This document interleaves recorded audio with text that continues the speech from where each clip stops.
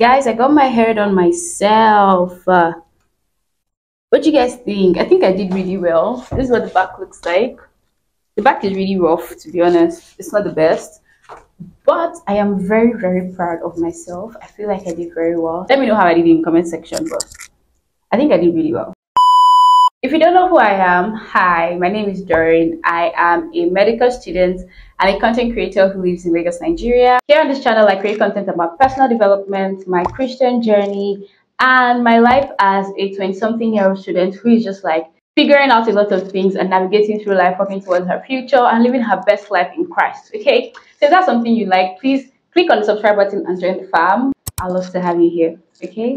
Today's video is going to be a very much needed update, I'm just going to be talking about all the things that I have been dealing with and different aspects of this 20 something year old life, trying to work towards your future, trying to build something for yourself, and all the things that I have been dealing with. First, we're going to talk about getting a degree. Hmm. just give a bit of context. I think you should watch this video. So, this is me on my matriculation day in January 2017. I had just gained admission the previous year to study medicine and surgery, and as you can see, I was so excited to begin that journey. And from my calculation, medicine and surgery is a six year course, so give or take, by 2022, people should start calling me Dr. Dodo for short.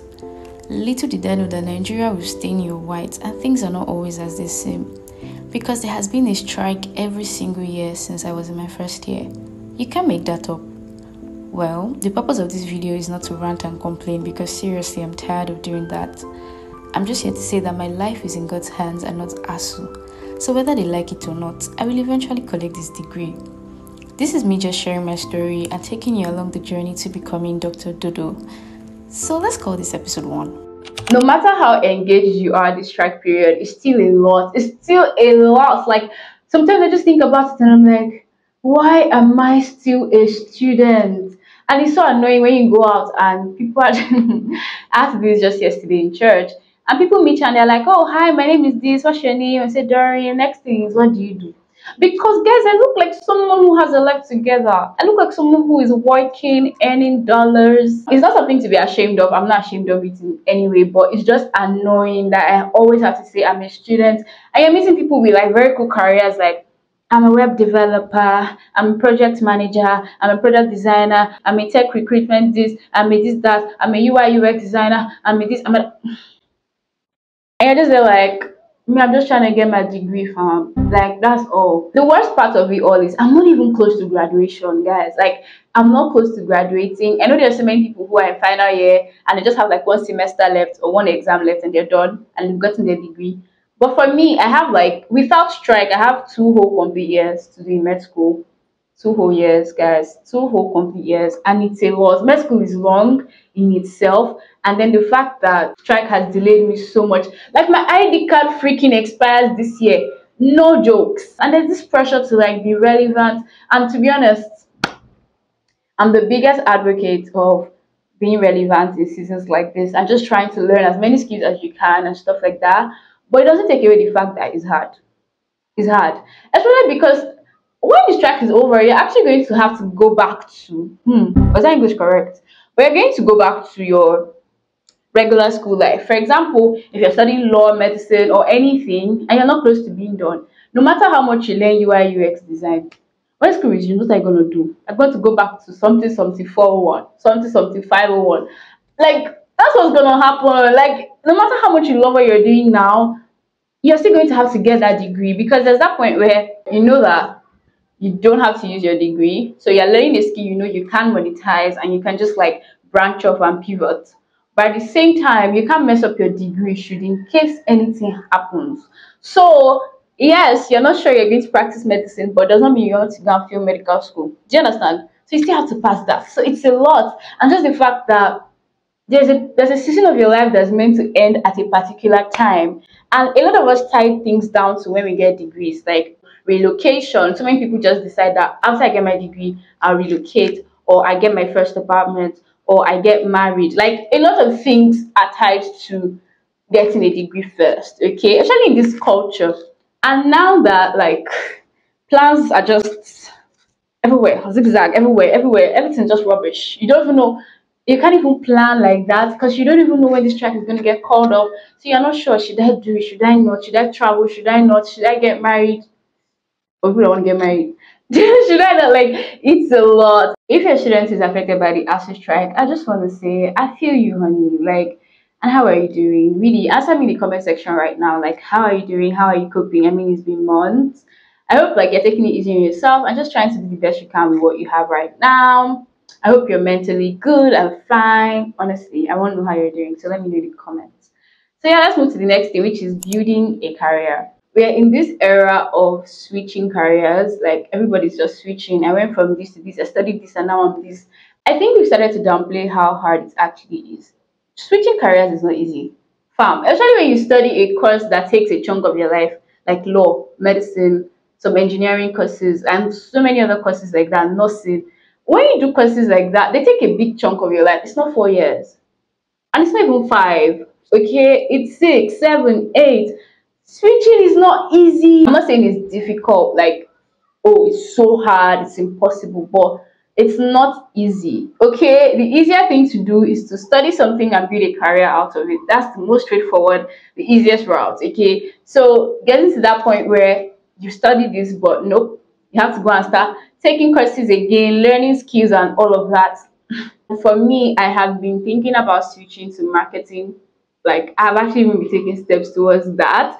I can't exactly switch up right now because I'm still in school and I still have to get this MBBS, whether I like it or not. Okay, but I have taken some courses on marketing, oh, and digital marketing, social media marketing. That's kind of where I'm tending towards because it's something I already do as a content creator. I'm just trying to see how I can build a career out of it. I just don't want to be a content creator and that's it. I want to actually like build skill, build expertise in like social media marketing. I can I can work with brands, firms, start my own thing, you know, based off on this. And it's really tied down to something I'm already very passionate about. I'm taking one course. I have a certificate from that. It was a fundamental course.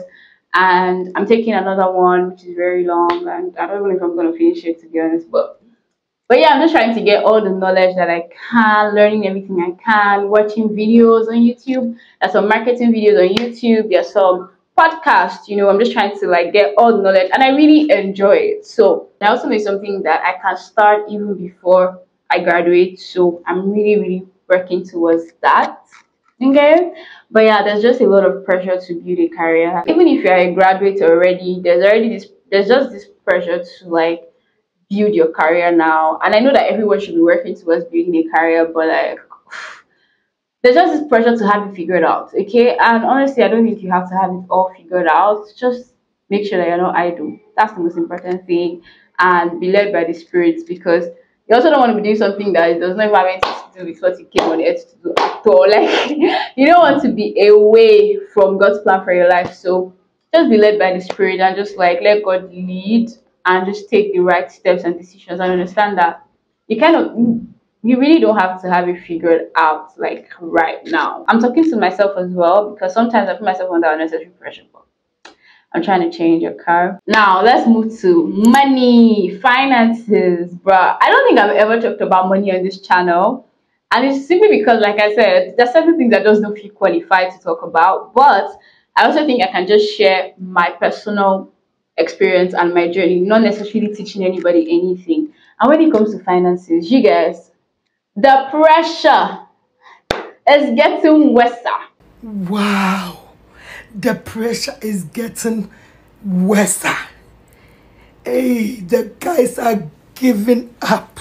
Hey, because, bruh, making money is now relatively easier with the rise of social media and lots of remote jobs and just people are learning how to like monetize skills and a lot of things and their knowledge and a lot of things but there's this undue pressure to be so financially stable right now i mean you're watching videos and you're seeing things like save invest this that emergency fund this and that how much do I have? You're hearing things like buy stock, real estate, this, that. And I'm like, you kind of have to be earning money for you to be able to invest anything. You cannot save, save from what? There's no steady flow of income entering my pocket. There is no steady flow. I'm still very dependent on my parents, okay? And even though nobody wants to ask their parents for things like data and stuff like that, so you kind of have to find something that can provide that. And thankfully, to a very good extent, content creation is starting to give me small, small, nothing serious to be honest, okay? And nobody talks about the fact that you, you work towards financial freedom. It's not like you just lands on your lap. Especially if you're not from a place where you have everything you want, you can just say, Oh, daddy, I need one million naira to upgrade my equipment and they'll give it to you. Hmm. If you're not from that kind of household, you kind of have to work towards everything. And they'll say, learn skills, learn skills. Do you know that you have to learn the skill to an extent before you can monetize it? Hmm? Some of the things take time. Things like YouTube takes time. Like so many things take time to build. And people just make it seem like it's such a like it's so light, like it's so easy. Even with businesses, farm, like some businesses take time before they pick up and start making you the kind of money that you want. Okay. I mean if you're trying to be legal here, because if you want to go illegal, bro, you don't need time at all. Success will land on your laps like that. But like with legal means of making money, everything needs time. I'm not saying slow, but they need time to build. Okay. And we just don't talk about that stuff. Everybody's just so financially wise and giving financial advice. And if you're not careful, it's very easy to start feeling like a victim, wanting to compare yourself, like, oh my gosh, I don't have any money. All these people seem like they're financially stable. Especially when you see your age mates taking certain strides, doing certain things for themselves, and you're just like, bro, when am I going to get to this point? Or even see people who are older than you by a few years getting their own apartments, being able to afford certain things, and you're just like, as I am now, when I'm their age, will I have these things?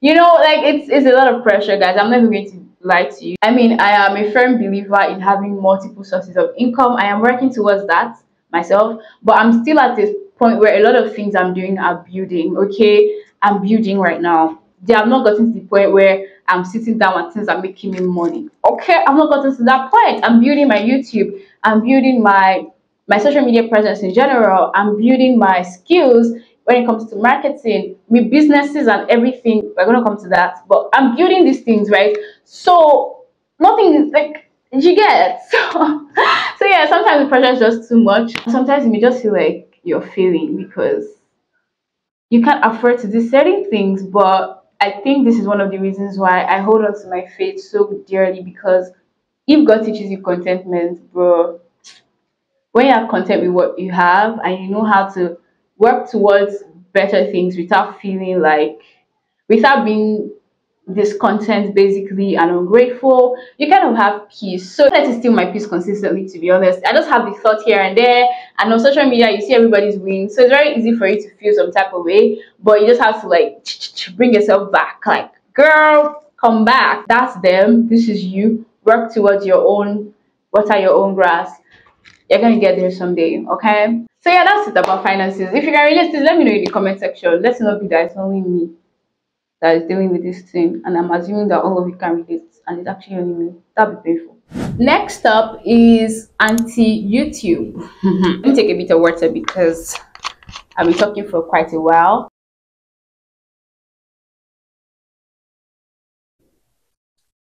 So guys to be honest in the past in the past month or two months, I have thought about quitting my YouTube channel like so many times.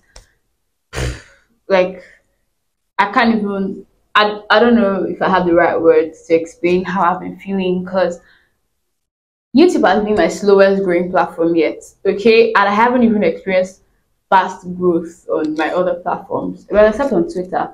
I grew pretty fast on Twitter. But like on my Instagram, I, I've been doing this for years, man. So I know that nothing that is there is just like it's not like I grew fast there either. Okay, I've been doing this for years, and I think right now I'm just at the point where God is multiplying my influence and impact, but it's also as a result of the work I've been doing for years. Okay, but YouTube has been taking its precious time, just moving slowly.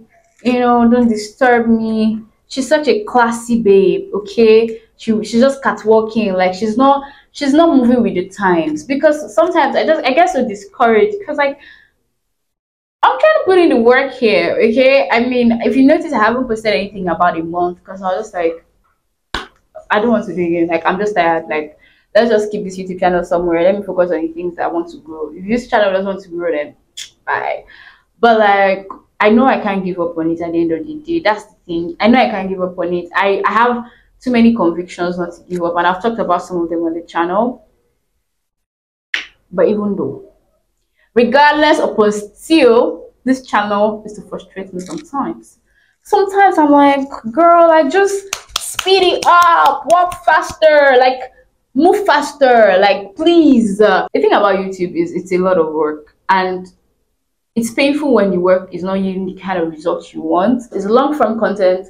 There's a lot of brain work that goes into it, and then the editing, like Instagram videos, it doesn't take me like when I know what I want to do. Editing here is fast. With YouTube, it takes quite a while. You know, so many things have to be in place. With your setup, Instagram, you can just go out and do a reel. I can go to restaurants and just film the road, film the food, film this, and that's it. Like I'm not saying again, I'm not downplaying it, but I'm trying to get you to know that YouTube is more work. So when it's not working, you're just feeling like I'm tired, you know? And I just got to that point where I was just like, you know what, should I just drop YouTube and focus on other things? I know I won't, I will not do that, but I had the thought of, you know, just quitting my YouTube channel. I got very bored of my kind of content, to be honest. And you're going to notice a lot of things are going to switch up around here. By the way, this face, this face you guys are seeing, this bare face without makeup, get used to it. Because I just got tired of, I don't enjoy wearing makeup as much right now because I need to get new makeup. So my current makeup products are not exciting to me. And so I don't enjoy wearing makeup like that. You know, if you notice, if you've ever met me in public, you'll notice that I'm probably not wearing makeup, right? so um, I don't enjoy as much anymore. And having to do my makeup when I want to film videos just not giving anymore. I just got bored of the whole sitting down and it was I wasn't expressing my creativity enough. I'm just like, oh, I don't know what to do. But yeah, I, I've gotten to that point where I'm like, you know what? I'm just gonna, I'm just gonna share. I'm just gonna whatever comes to my head. I'm not gonna overthink it. I'm just gonna deliver. I'm just gonna drop it. Okay. Obviously, I'm still to think about the value, the excellence. I'll be as authentic as I can and apply strategy as much as I can. But I'm not gonna overthink it. I'm not going to wait for it to be too put together. I'm just tired of that. I'm not like giving myself mental gymnastics. Bruh, that was a mouthful. You want to blow on YouTube fast, just marry. Once you marry, come and tell us how you met him. Wedding night. One thing, one thing. You don't have to bring him over. You can do the video alone. But just talk about marriage, talk about relationship here and there. You'll get views. You'll get subscribers. If you not bring him, oh my gosh it will blow okay just do it in a very you people should look aesthetic do it beautifully you know it will blow. Guys relationship content on youtube. I fear i fear you guys on this app. The way you guys rush it i'm at that point where with youtube i'm not to quit. I'm just going to express my creativity a lot more and not put myself in a box basically because that's what i did for a long time. I just put myself in a box like my videos have to look like this and they don't. They really don't. The last thing i want to talk about um business okay? Um i never talked about it on my channel but guys i wanted to start a business but currently i can't say i'm failing at it because i business actually never launched but um i started it's so crazy because this idea came back in january and i started working on it in march february or march i think it was march i wanted to launch April, Easter, that didn't work out. I moved it to May, that didn't work out. And I've just, I've gone through a lot. Okay. Somebody is currently with my money, he has not given me back my money. Like, it's just been a lot. I can't tell you guys what the business is, was meant to be about right now, but it was a lot. I've been through a lot with this business, and for now, it's on hold. And sometimes it just feels like I failed because I already opened an Instagram account. I announced it on my Insta story back in April or March. I can't remember. I think it was in April I announced it because I thought I was going to launch soon, but that just hasn't worked. I'm just at that point where I'm like, okay, God gave me the idea, run with it, I obeyed, okay, and that's not failure to me. It feels like I failed. Um, I'm so happy that nobody on Instagram has ever asked me, okay, because I mean, you know, but yeah, the business is going to launch eventually, and you guys are going to know all about it. I'll take you through the journey, but for now, I just want you to know that I was working in the business and it failed. It just, yeah, it's not, yeah, yeah. Guys, we've come to the end of this video. I hope that you watched it to this point. You did. You're such a gem. I love you. Okay. If you are not following me on Instagram, you should. You definitely should. My handle is going to come up on screen right now. There's also something I'm really working on that I should launch sometime next week. I'm not very sure yet. But I think I'm going to launch that next week. It's not a business, but I think it's something that I don't know. I don't want to give too much away. You guys are going to see it when I eventually launch it. And I'm probably going to take you guys through the process on here as well. But yeah, guys, thank you so much for watching this video. Yeah, everyone, okay? And yeah, I'll see you guys in my next video. Bye bye.